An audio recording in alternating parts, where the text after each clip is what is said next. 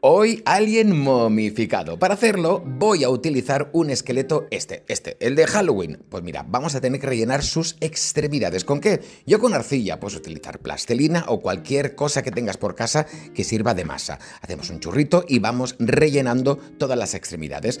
Yo, por ejemplo, fíjate, aquí he modificado un poquito las costillas para que parezca más un alien. Cubrimos todo. Incluimos los detalles que hacen que parezca un alien de verdad. Por último, la cabeza. Hay un buen trozo de arcilla, apretamos fuerte y le damos esa forma triangular. Con una cuchara nos vamos ayudando y también nos sirve para hacer los detalles de la cara. Cuando tengas todo el alien terminado lo dejamos secar un poquito y ahora vamos a por el mejunje. Cola, agua a partes iguales. Lo mezclamos bien hasta que salga este líquido y vamos cubriendo con un pincel.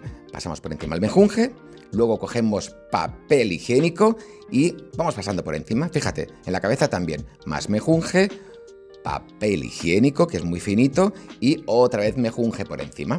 Cuando hayas terminado, lo dejamos secar. Y cuando ya esté listo, simplemente tienes que coger una caja, papel de seda, Trasladamos nuestro alien con mucho cuidado, que es muy sensible, y fíjate, ya tienes tu alien momificado. Fantástico, ideal.